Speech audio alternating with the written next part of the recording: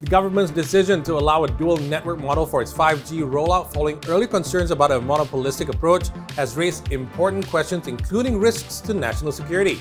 However, a source in the know says these complications arose due to illogical decisions made under a previous administration. On May 31, 2021, then Communications and Multimedia Minister Saifuddin Abdullah said DNB was tasked to solely oversee the 5G rollout and provide wholesale 5G services. The source says there was never a need for a special purpose vehicle like DNB to implement 5G in the first place as all existing service providers in Malaysia like CelcomDigi, Maxis, U Mobile can provide 5G services via their existing spectrum bands, including those used for 4G.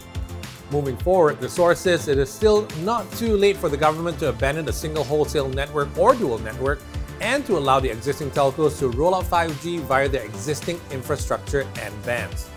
Simply put, the source says the government should exit a business it should not have been involved in. Jason Desmond, FMT News.